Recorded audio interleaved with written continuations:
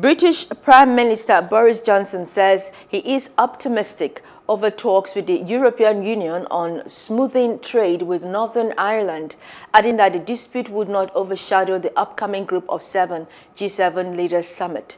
The British PM also said it was too early to say if England's lockdown can end on June 21st, as data on whether the vaccine rollout offers enough protection from the rapid spread of the Delta coronavirus variant is still being assessed. Johnson said an assessment of the data will be made on Monday.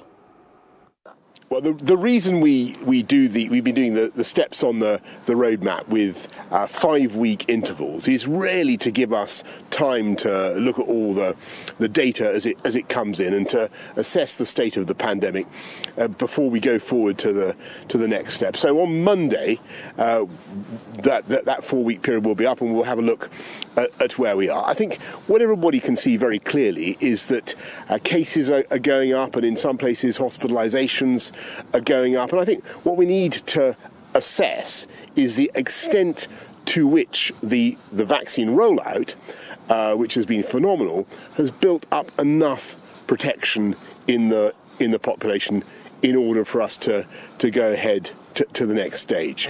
Hello. Hope you enjoyed the news. Please do subscribe to our YouTube channel and don't forget to hit the notification button so you get notified about fresh news updates.